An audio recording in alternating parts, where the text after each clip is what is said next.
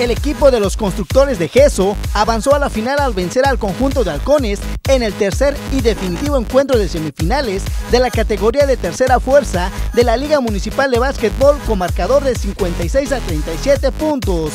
Los constructores de Geso de principio a fin dominaron el encuentro, donde los halcones en el tercer cuarto trataron de reaccionar pero fue imposible, pues Geso no les permitió que acortaran el marcador.